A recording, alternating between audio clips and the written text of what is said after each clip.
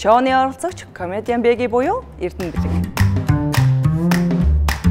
Аа за сайн мэдсэн үү намайг Батмөнхий Эрдэнэ Бэлэг гэдэг.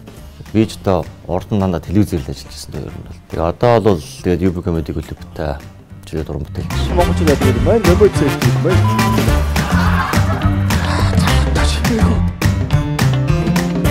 За би хоолны зуршлуугаас муу хүн шүү дээ. Тэгэл ийм туранхай нэг 48 гэдэг юм. Яг ягаад чинь хоол ерөөсө жоох идэд тэгэл ингээл цадчихдаг. Нүр яарч үгүй хэсэг идэж болов. Гой мэл шүү дээ. Гой юм шүү дээ. Тэгээд өөр өөр. Төмсгийг бол төмсгийг бол сайн ялгана. Тэгээ ихнэр бүтээрч ер нь ер нь нэг хоол иддэггүй шүү дээ. Гэртээ бол баг яг амралтын өдрүүдэд л нэг ганц нэг хоол. Тэрэн дээр нь л би нөгөө нэг төмс ногоог нь ярилгаж өгнө те. Тэгээд аа үнэхээр мах хөлдөө байх юм бол нэг хөлдөө мах нэг жоохон зорох юм да. За. За миний анхны хоол бол нөгөө талсан гурилтай аюуд нь штэ.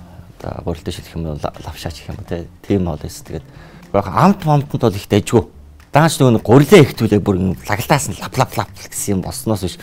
Бусдаар бол гайгүй шүү. Ер нь Энэ бол таг хараа хуу хуу ер нь мэдэх мэдэх юм баг байхгүй. Дөрөв эрэгтэйг бол би хангаа нэрээ. Дөрөв эрэгтэйг бол асуудал байхгүй.